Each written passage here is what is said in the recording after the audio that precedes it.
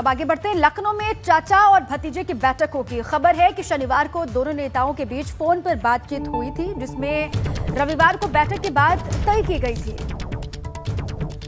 और कल किसी कारणवश बैठक नहीं हो पाई तो आज वो बैठक होने जा रही है और आज की बैठक में सीटों के मुद्दे पर दोनों नेताओं के बीच बातचीत होगी। तो दोनों नेताओं की फ़ोन पर बात हुई थी, लेकिन आज बैठक होने जा रही है और अखिलेश और शिवपाल की बैठक आज लखनऊ में होने जा रही है। कल ये मुलाकात होनी थी, लेकिन किसी कारणवश मुलाकात नहीं हो पाई, लेकिन सीट शेयरिंग को लेकर आज ये दोनों नेता एक साथ बैठेंगे और मंथन करेंगे।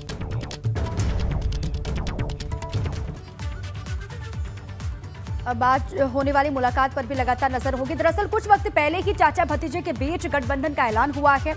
आपको याद होगा और अब सपा, प्रसपा के बीच में सीट शेयरिंग होनी है। मिलकर चुनाव लड़ रही हैं दोनों ही पार्टियाँ। कितनी सीटें मिलती हैं शिवपाल यादव की प्रगतिशील समाजवादी पार्टी को, इस पर मंथन हो रहा है। और शिवपाल यादव की माने तो अखिलेश के साथ सीटों को लेकर कोई झगड़ा नहीं है। अब अखिलेश को नेता उन्होंने मान लिया है। ये वो पहले भी कह चुके हैं कि उनके नेता अखिलेश यादव ही हैं और सीटों को लेकर कोई विवाद नहीं है। हालाँकि आज बैठक होने जा रही है और सीट शेयरिंग को लेकर ये दोनों ही नेता मंथन करेंगे। हमारे साथ शिवपाल यादव जी हैं प्रसपा के राष्ट्रीय अध्यक्ष। शिवपाल जी अब तारीखों का ऐलान हो गया। अब सबकी निगाहें इसी बात पर हैं कि कितनी सीटें आपको मिलेंगी? देखिए हम दोनों मिलकर के चुनाव लड़ेंगे। अब हमने अखिलेश यादव को नेता मान ही लिया है तो अब सीटों का हमारे यहाँ कोई झगड़ा नहीं है। अब बैठक की बात हो रही है तो फिर सपा भी पीछे नहीं है। समाजवादी पार्टी ने 12 जनवरी को पार्टी कार्यालय पर बड़ी बैठक बुलाई है। बैठक के लिए सभी सहयोगी दलों को बुलाया गया है। बिल्कुल दरअसल सिर्फ़ शिवपाल ही नहीं बल्कि गठबंधन में शामिल सभी दलों के साथ सीट शेयरिंग पर चर्चा होनी है। उम्मीद है कि बैठक के बाद ऐलान भी कर दिया जाएगा।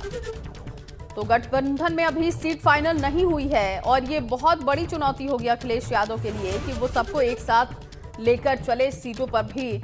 आ, उनकी किसी भी तरीके से दिक्कत सामने ना आए क्योंकि सीट शेयरिंग पर अभी तक कोई चर्चा नहीं हुई है। लगातार ये बातें कही जा रही है। गठबंधन में जो दल हैं उनकी तरफ़ से कि कोई दिक्कत नहीं है सीटों को लेकर। हमारा मकसद है भाजपा को हराना, लेकिन सीट शेयरिंग को लेकर आज फैसला संभव है। और सपा के 22 वाले जो सहयोगी हैं, उनकी जानकारी हम आपको दे रहे हैं। देखिए, महान दल है, रालौद है, सुभाषपा है, और इसके साथ ही गोडवाना गणतंत्र पार्टी भी है इसमें। जनवादी सोशलिस्ट पार्टी, जो कि इस बार समाजवादी पार्टी के साथ मिलकर चुनावी मैदान में है, अपना दल के है और कांशीराम बहुजन मूल समाज पार्टी, ये भी गठबंधन में है। तो ये तमाम दल हैं जो कि समाजवादी पार्टी के साथ मिलकर चुनावी मैदान में इस बार उतर रहे हैं, जिसमें प्रसपा भी है, सुभाषपा भी है, रालौद भी है। और आज आज सीट शेयरिंग को लेकर माना जा रहा है कि कुछ फैसला सामने आ सकता है, क्योंकि बैठक होने जा रही है समाजवादी पार्टी की तरफ़ से। आगे बढ़ते हैं। यूपी चुनाव की तारीखों के ऐलान के बाद दल बदल भी तेज हो गया है। सपा एक बार फिर कांग्रेस को बड़ा झटका देने जा रही है उत्तर प्रदेश में। दरअसल कांग्रेस सचिव इमरान मसूद आज अपने करीबियों और समर्थकों के संग बैठक करेंगे और उनसे बात करने के बाद सपा में जाने का फैसला वो लेंगे बिल्कुल जया, और एबीपी गंगा से बातचीत में इमरान मसूद ने साफ़ कर दिया कि वो सपा का दामन थामने जा रहे हैं। उन्होंने कहा कि वो अपने समर्थकों से बात करके समाजवादी पार्टी में शामिल होंगे और उसका जो आखिरी अनाउंसमेंट है हो सकता है आज कर भी दें इमरान मसूद। उत्तर प्रदेश में समाजवादी पार्टी और भाजपा के बीच में सीधी टक्कर होती हुई बन रही है।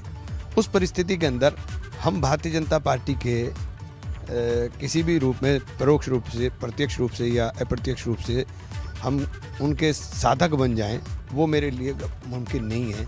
इसलिए मैंने तय किया कि कल अपने साथियों से मशवरा कर कर साथियों से बात कर कर कि मैं समाजवादी पार्टी के साथ इस चुनाव के अंदर जाने का काम करूँगा।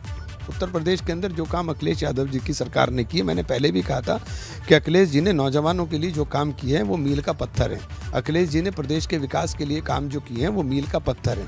अखिलेश जी के किए हुए काम पाँच साल के जो उनकी सरकार के अंदर किए गए थे, उन अधूरे कामों को पूरा करने के अंदर पूरे पाँच साल भारतीय जनता पार्टी ने फीता काटने में लगा दिए।